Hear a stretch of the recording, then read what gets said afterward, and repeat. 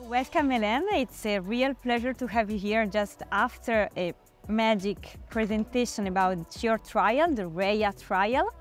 So, um, which is the need for this trial uh, before constructing and uh, choosing the, the, the, the, message that you wanted to deliver, which is behind RHEIA?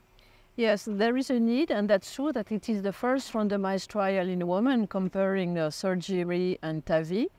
And uh, there is there was a need because uh, women are underrepresented uh, in the low risk trial. They are about 30% of the trials in Partner or Evolut.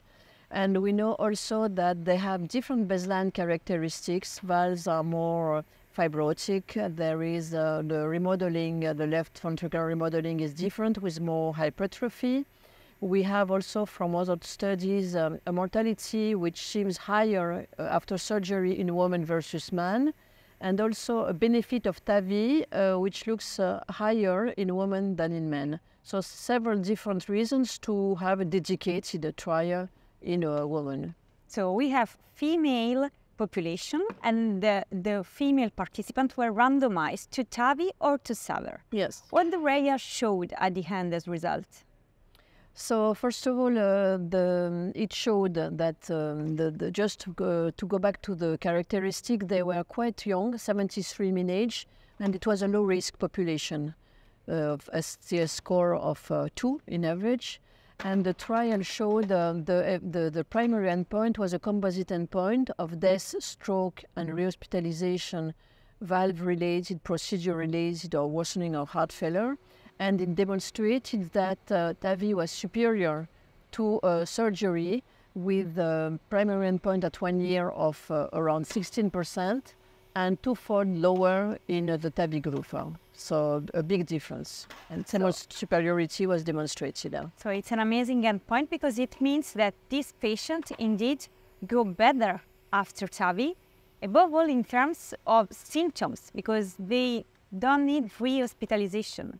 Is that that you mean when you think it's important that TAVI indeed is less invasive than surgery for this population that suffer more from mortality on one and the benefit on the other?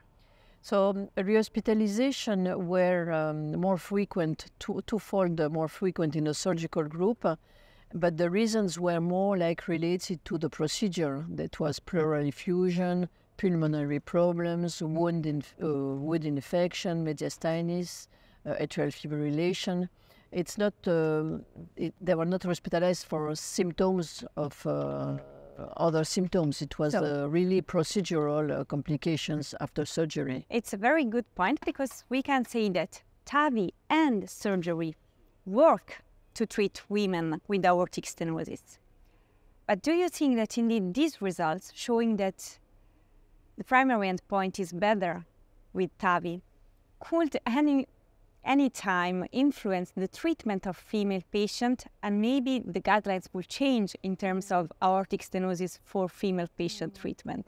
Yes, when we look at the result mm. and the superiority of TAVI over surgery with a big difference, even if it's driven by hospital stay, TAVI is a less invasive technique, much less invasive technique, so it, it uh, in conclusion, we should uh, we could consider TAVI as the as, as, the, first, as the preferred as treatment for women with symptomatic aortic stenosis. I agree.